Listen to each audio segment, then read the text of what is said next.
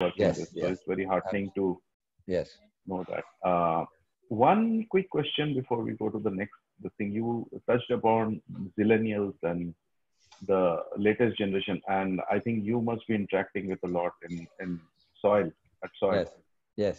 and uh, as you rightly said their preferences their way of thinking uh, their decision making is quite different from uh, you know others so when they become the work workforce Yes. uh, there has always been a question of managing millennials and i think now we should move to managing zillennials Correct. so, what are the few uh, examples? How are they different from, let's say, the previous people from our era? One thing is very clear that the millennials learn lot through lot more through video. So you know the the, the ways of learning. Uh, there is no, this is backed up by research, by the way. You can do read this research that their uh, medium for learning is a lot more through video, as in one. Two, medium of learning is a lot through experiential learning. So a lot more through experience rather than the earlier pedagogy of just the Socrates method of inquiry. The, the Socrates method of inquiry is still relevant, but it has to be dovetailed into the new methods of creating the right experience for people. And uh, I think the millennials, uh, something we, by the way, we researched this because we had a specific conference on the millennial to zillennial interface. And we actually did research to this. In that research, we found the zillennials were far more global. From now, of course, our research sample was based on urban cities and not based on the tier two and tier three, but I would suspect that might be true of the smaller towns as well that these guys are much more global in the way they interact with their peers in other countries. I was I didn't even know that a lot of kids studying in Shiv Nadar school where my granddaughter goes, for example, because we hosted this conference jointly with Shiv Nadar school. So it's a business school and a high school joining hands to host this conference. It's very unusual. And Shiv Nadar is one of the best schools in the country. So interestingly, we heard many stories of young kids like 11, 12, 13 who are collaborating with other kids in other parts of the world and on their own, not because somebody enabled it to happen. They are digital natives. They know how to build collaboration across boundaries. And something very fascinating and interesting that they are doing. So these are some of the things we saw. We also saw that, uh, and this, by the way, was also true of millennials. I think many of them want to do something to make a difference to society. They are not just uh, you know they are not prepared to listen to the talk by the older people that this cannot be done or this country cannot be improved. So there is a lot more imagination and positive energy at play to say we can do this like a little kid who created a startup you know around tires. Whom i met who he was a teenager when he created this company. This is he saw tires being burnt, automotive tires being burnt, and he was aghast. So he said, How can I set up a business of recycling tires? And he actually created a company like that, which then was scaled up. But he was a teenager when he did that. So that kid who's now in his early 20s came to address our conference. And what a and by the way, now he's been taken away by the United Nations as one of their leaders, global leaders, and then he does he's part of the UN now network on how he helps other organizations with this alternate thinking.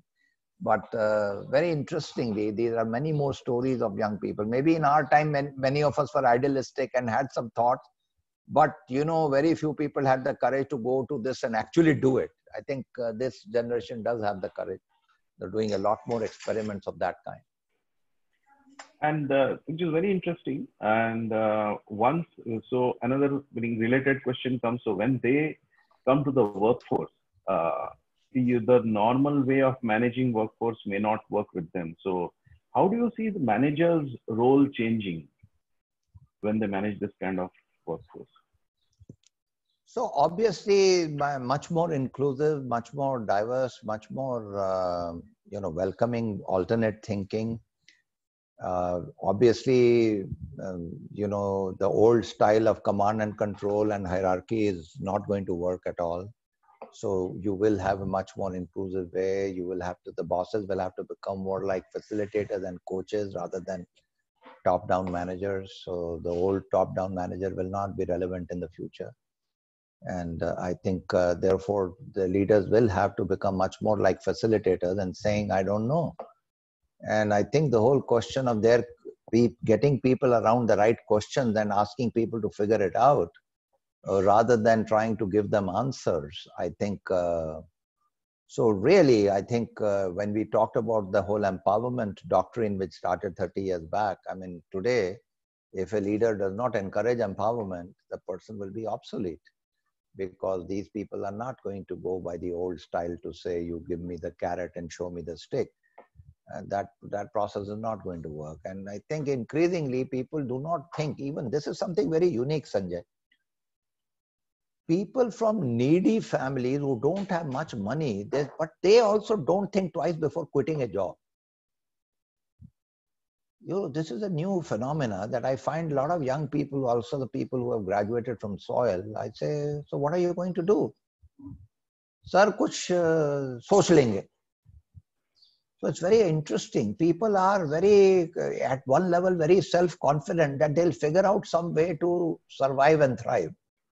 And so this concept of job security and saying I need the company, uh, and it's not just because of a selfish reason that people have become. I don't buy into the discourse which say people have become much more selfish, self-centered, and thereby thereby they they are not loyal to you.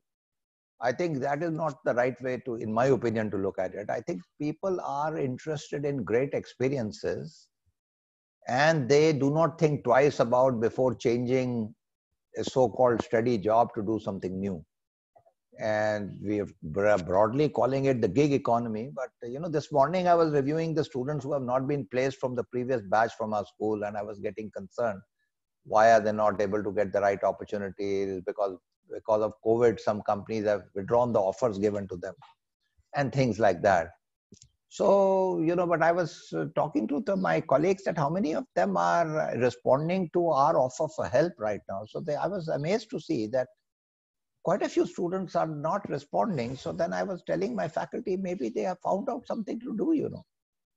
And uh, even in a very difficult environment, people have just figured out what to do. So this seems to be some new phenomena out there. People are willing to work on projects. They're willing to live in the uncertainty and this kind of thing may happen more and more in the future. People are already predicting the size of the gig economy and how organizations in the future will be irrelevant and you will only be working on short projects and then doing something else.